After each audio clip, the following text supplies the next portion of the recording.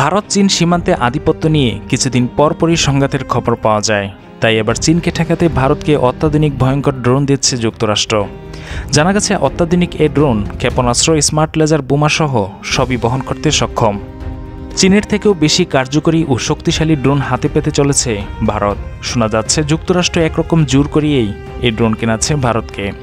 ভারতের প্রধানমন্ত্রী নরেন্দ্র মোদী সংবাদ মাধ্যমকে জানিয়েছেন, তার দেশ তিন বিলিয়ন ডলারে ব্যয়ে যুক্তরাষ্ট্রের কাছ থেকে তিরিশটি M Q nine reaper drone কিনতে যাচ্ছে।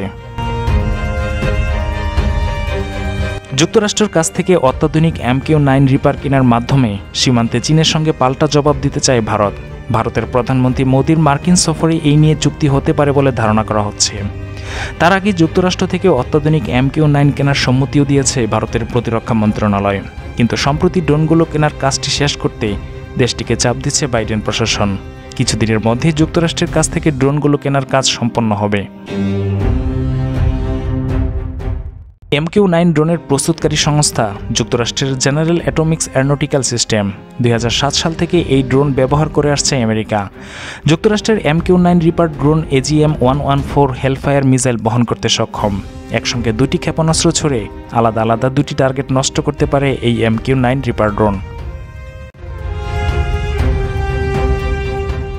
হিমালয়ের উপর দিয়ে উড়ার সময় যে কোনো অবস্থানের রিয়েল টাইম সিচুয়েশন অ্যাওয়ারনেস দিতে সক্ষম এই মানববিহীন ড্রোনটি। এমকিউ নাইন ড্রোনটি যে কোনো আবহাওয়ায় টানা তিরিশ ঘণ্টা উঠতে পারে। প্রয়োজনে বেসামরিক অঞ্চলের আকাশ সীমাতেও এটি নিরাপদে ব্যবহারযোগ্য। এই ড্রোন শুধুমাত্র ক্ষেপণাস্ত্র বহনই নয়, বোমারো বিমানের মতো কাজ করতে পারে এই ড্রোন।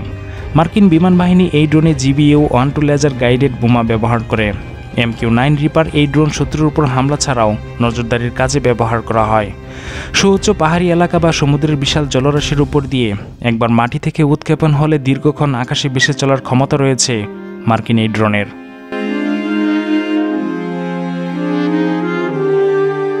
গত তিন বছরে সীমান্ত সমস্যার জেরে ভারতের সাথে চীনের সম্পর্কের অবনতি হয়েছে মারাত্মক আকারে। তবে অত্যাধুনিক ক্ষেপণাস্ত্র বহনকারী ঘাতক ড্রোন রয়েছে চীনের হাতে। চীনের এসব ঘাতক ড্রোন টানা বিশ ঘণ্টা উঠতে পারে এবং গতি ঘন্টায় তিনশো সত্তর কিলোমিটার। সেক্ষেত্রে মার্কিন এম কিউ নাইন ড্রোন চীনের ড্রোনের থেকে অধিক কার্যকরী ও ব্যাপ্তিও তুলনামূলকভাবে বেশি। কিন্তু বিশেষজ্ঞদের মতে চীনকে প্রতিহত করতে মার্কিন ড্রোন হাতে পেলে সেই সব চ্যালেঞ্জ মোকাবেলায় কোনো সমস্যাই থাকবে না ভারতীয় সেনাদের।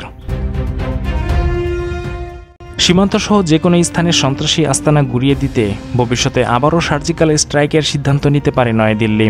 সেক্ষেত্রে এসব অপারেশনে বড় ভূমিকা রাখতে পারে মার্কিন এমকিউ নাইন রিপার ড্রোন। এই ড্রোন কেনার ক্ষেত্রে প্রযুক্তিগত হস্তান্তরের কথা বলেছিল ভারতের প্রতিরক্ষা মন্ত্রণালয়। তবে প্রাথমিকভাবে তিরিশটি এই ধরনের ড্রোন কেনা হতে পারে বলে জানা গিয়েছে।